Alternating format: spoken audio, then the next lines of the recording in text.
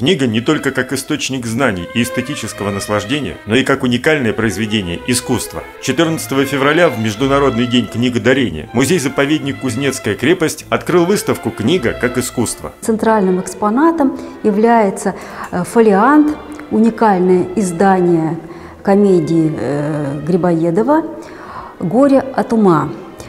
Э, эта книга была издана 110 лет назад – Санкт-Петербурге товариществом Романа Голики и Артура Вильберга. Чем же она так уникальна? Известно, что э, переплет в котором издавалась эта книга, был шелковым и кожаным. Так вот, варианты в кожаном переплете, которые как раз представлены на нашем выставке, это самое малотиражное издание. Также текст на бумаге верже. Это очень дорогая бумага, а иллюстрации вообще размещены на бумаге ручной работы, разработанной специально для этого издания. Все э, говорит о том, что издание уникально и является образцом библиофильским, коллекционным. И образцы их на антикварных аукционах э, доходят до полумиллиона рублей. Впрочем, главное не цена, а ценность труда, который в издание вложен. К сожалению, уникальную книгу нельзя подержать в руках книгах, но копии ее иллюстраций все же увидеть можно. Задумывая свое издание,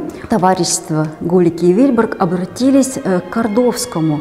Дмитрию Николаевичу, знаменитому иллюстратору э, книг. Он создавал иллюстрации. Это были как акварельные рисунки, так и монохромные. Часть иллюстрации, э, как копии, конечно же, присутствуют на нашей выставке. Для создания антуража эпохи Грибоедова старинную книгу окружили антикварными предметами того времени. Мы э, решили создать вот такую небольшую а, ауру писателя тех э, времен и, конечно же, это же комедия, пьеса, какими-то вот элементами театра. Музей, конечно, не приспособлен для театральных постановок, но сыграть одну или несколько сцен средствами театра теней вполне возможно. Такие вот у нас есть фигурки для теневого театра. Они, кстати, тоже нам сделаны мастером из Санкт-Петербурга, как победителем в фестивале Театр теней в прошлом году. Собственно говоря, мы можем и сами разыграть, и если школьники пожелают поучаствовать в этом театре и почитать, то мы будем только рады.